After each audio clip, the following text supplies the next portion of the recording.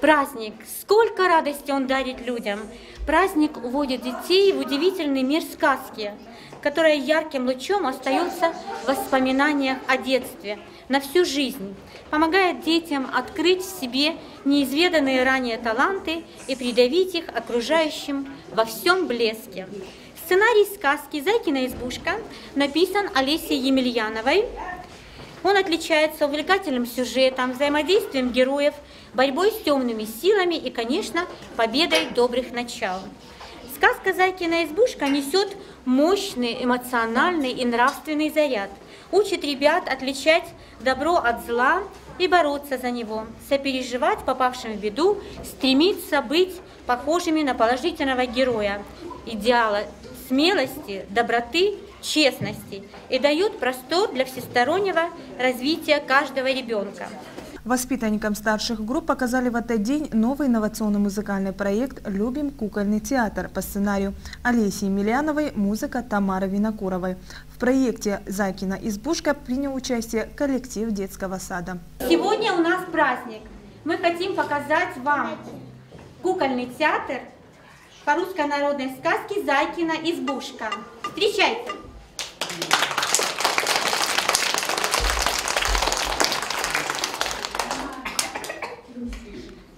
Thank mm. you.